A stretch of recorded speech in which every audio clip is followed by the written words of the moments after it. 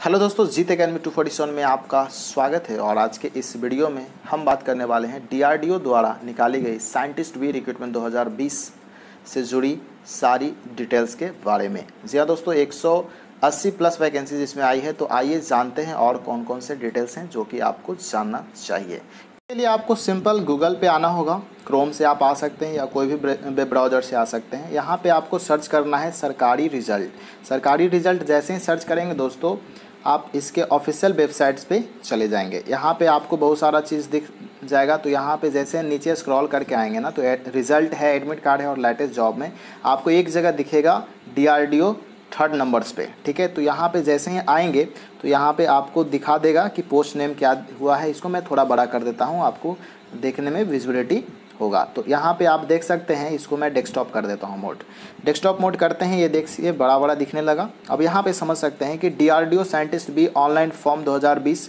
post name यहाँ पे दिया हुआ है दोस्तों।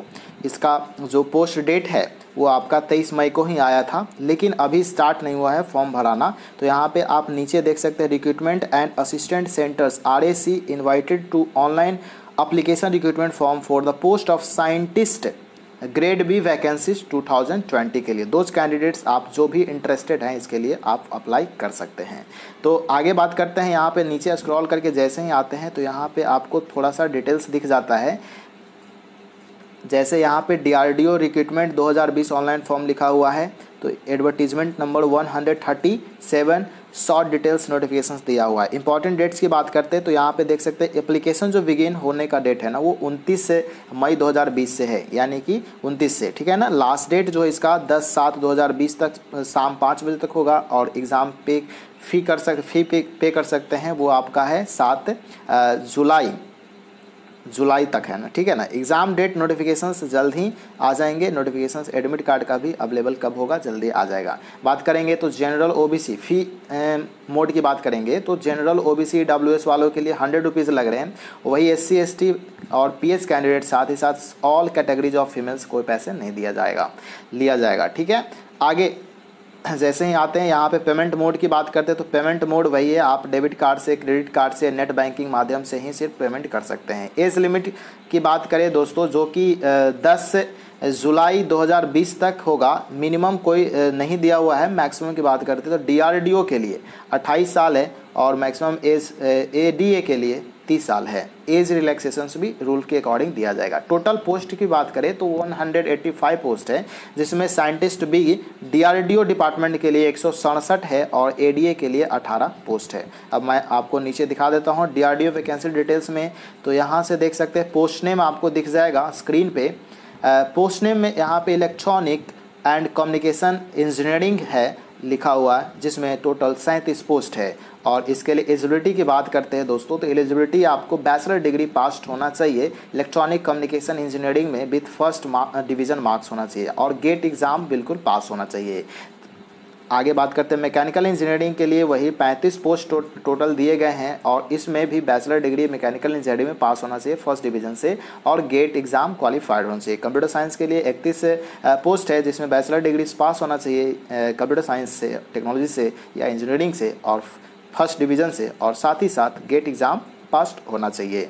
वही बात करते हैं इलेक्ट्रिकल डिपार्टमेंट के लिए भी बारह आया है, जिसमें बैचलर डिग्री इलेक्ट्रिकल इंजीनियरिंग में चाहिए फ़र्स्ट डिवीज़न पास होना चाहिए, और साथ ही गेट गेट एग्ज़ाम भी पास होना चाहिए। मटेरियल साइंस एंड एनर्जी में सॉरी इंजीनियरिंग में जो आए हैं दोस्तों, दस वैकेंसीज आया है। इसमें भी बैचलर डिग्री इंजीनियरिंग होना चाहिए math metallurgical with first division marks होना चाहिए, और साथ ही साथ गेट पास होना चाहिए। वही और भी सब्जेक्ट जैसे कि फिजिक्स के लिए आठ पोस्ट है मास्टर डिग्री इसमें खोज रहा है फ़र्स्ट डिवीज़न से फिजिक्स में और गेट पास होना चाहिए। केमिस्ट्री के लिए सात है मास्टर डिग्री से केमिस्ट्री में फ़र्स्ट डिवीज़न से और गेट पास होना चाहिए। तो ये डीआरडीओ के बारे में दिया गया। और भी पोस्ट है यहाँ पे, जैसे कि केमिकल इंजीनियरिंग है दोस्तों। तो केमिकल इंजीनियरिंग से अगर किए हैं तो भी आपको छः पोस्ट इसमें मिलेगा। बैचलर डिग्री पास होना चाहिए। Chemical engineering with first division और गेट मार्क्स गेट भी पास होना चाहिए। एरोनॉटिकल इंजीनियरिंग के लिए चार पोस्ट है, उसमें बैचलर डिग्री चाहिए। एरोनॉटिकल इंजीनियरिंग में फ़र्स्ट डिवीज़न के पास